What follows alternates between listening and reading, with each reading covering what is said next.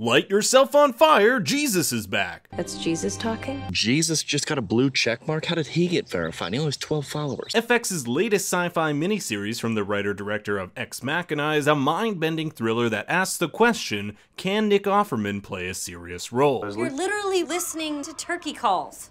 Uh, is this is this not rap? In this video, we're going to take a deep dive into the ending and explain some of its most unanswered questions. So log into the system because here we go. The very first shot of the final episode is of the crashed capsule. We aren't sure what's really happened yet as this particular scene occurs near the end of the episode. In essence, we're seeing a glimpse of the future, just like Forest and Katie use the Devs machine to see the future. This technique of showing images of future events at the start of the episodes occurs several times throughout the series, like in episode 2 where it briefly shows us the fight between Anton and Kenton that hasn't yet happened. Set against the intro we have Stewart reciting William Butler Yeats's poem The Second Coming, which uses Christian imagery regarding the apocalypse and second coming to describe the atmosphere of post-war Europe. In Devs, however, it describes the atmosphere of Devs' destruction and the death of its creator. But as we'll find out later, Devs looks as though it's seemingly destroyed, but with it comes resurrection. If you're watching the last episode a second time, you'll notice this introductory shot of Forest here is him post-death, being within the system, and the image of his daughter running through the field is the one we later see her in at the end of the episode. Rewinding 30 minutes, Lily arrives at Devs to confront Forest. In episode 7, we learn that Forest gave Lily permission to bypass security and access the hub. That's because he's seen the future and knows what's going to happen. Even if that future shows his own death, Forest is powerless to stop it. That's because he's a firm believer in determinism. In philosophy, determinism is the idea that all events, including moral choices, are completely determined by previously existing causes. Nothing ever happens without a reason. Everything was determined by something prior. In other words, we have no free will. That's why when Forest confronts Sergei about stealing his source code, he tells him he's not mad. You made no decision to betray me. You could only have done what you did. Forest wants to believe so badly in determinism because it would absolve him of the guilt he holds for the deaths of his wife and child. He kept his wife distracted on the phone while she was driving, which resulted in her deadly car crash. If there is no such thing as free will, then he can't be to blame for their deaths. I think Devs is how you've put yourself on trial. It's judge and jury. If it works, determinism precludes free will, and you're absolved. You did no wrong. But if it doesn't work, you had choices, and you're guilty. This is why, in episode 4, Forest fires Lyndon. Lyndon applied a code that used American physicist Hugh Everett's many worlds theory in order to get a crystal clear audio recording of Jesus Christ. But the Everett theory, which basically states that there are infinite worlds where people make infinite choices, flies in the face of determinism. It means the universe is constantly splitting, like the trunk and branches and twigs of an infinitely large tree. And on that tree, all possible worlds will exist. In essence, the application of Lyndon's code proves that free will exists, thus Forest was responsible for the death of his wife and daughter. Knowing this, it becomes clear as to why Forest fired Lyndon, when in any other world, Lyndon would have been given the Nobel Prize. As a side note, the actor who plays Lyndon is female, even though the character is referred to using male pronouns. It just so happens Alex Garland, the writer-director, had a certain look in mind for this character, and a woman just happened to fit the bill. Moving along, Forest tries to make sense of this discovery by stating that yes, they heard Jesus, but it wasn't their Jesus. By taking all this data from supposedly many universes, it does not recreate the exact Jesus that was the one that lived in their history. If it's not our Jesus, it's not my Amaya. Lily joins Forest in the theater room with a feeling of helplessness. She feels that she's not in control of her own life. I don't know what I am anymore.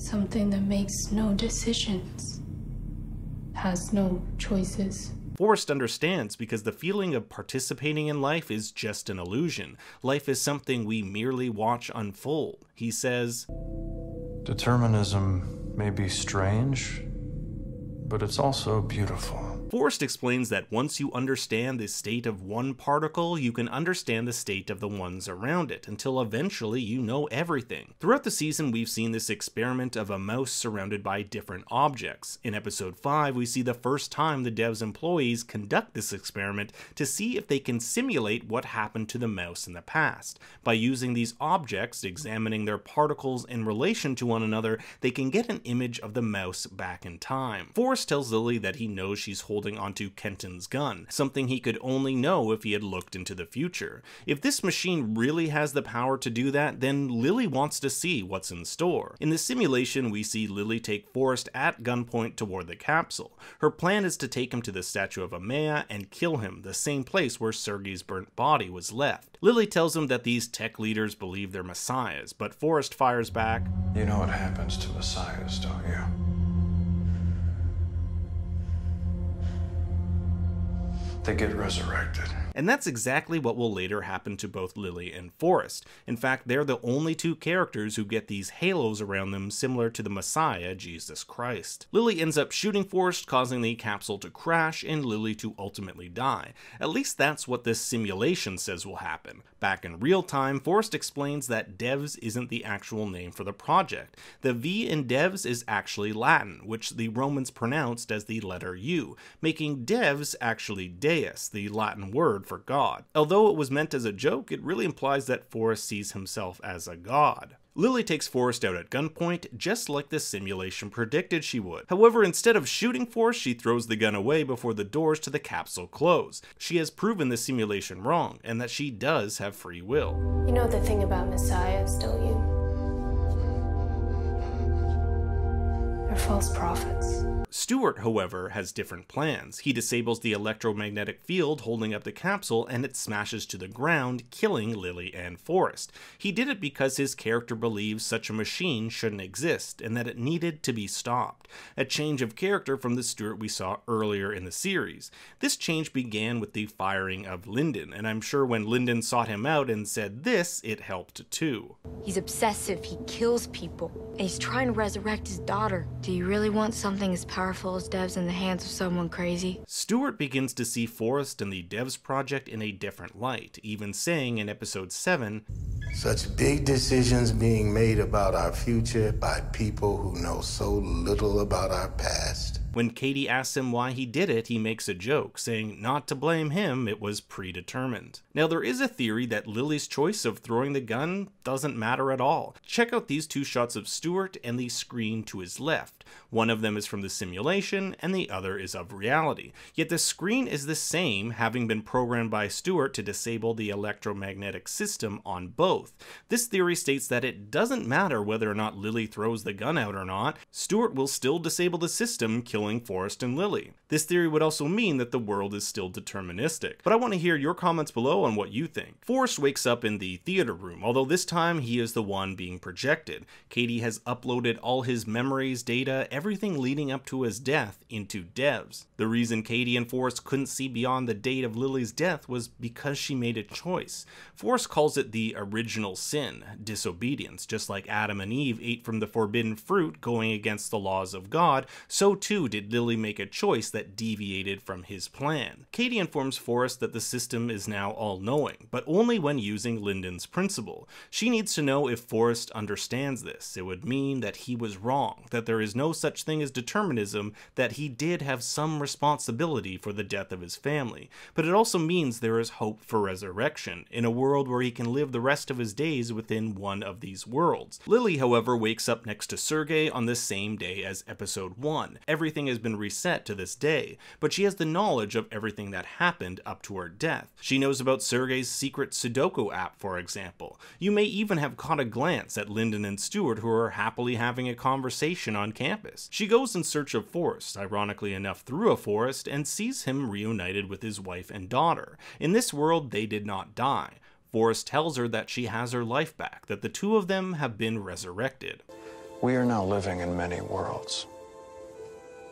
In this world, the two of us get to live in paradise with the ones we love. Lily isn't sure what to do with her life now, and Forest says she can follow her own path, something he never would have said at the beginning of the series. In the real world, however, Lily and Forest are dead. As Chief Operating Officer of Devs, Katie has taken control and has done something Forest never would have done let the Senator in on what Devs really is. If you remember from episode 3, the Senator visited Forest in an attempt to learn more about Devs, trying to recruit the program so that it can be used by the NSA. Forest, however, couldn't care less about using devs to help others, not for patriotic reasons or as he tells Kenton, to combat climate change. Forest cares about one thing only, being with his family, and that's exactly why Katie goes to the Senator. Although it's never fully explained, Katie needs the Senator in order to keep devs running. This could mean she needs help financially or legally, because if devs is disabled, she'll lose the person she loves, Forest, just like Forest would do anything to protect the project, that includes murder,